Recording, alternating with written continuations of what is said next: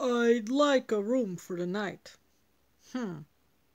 Any pets? Nope. Huh?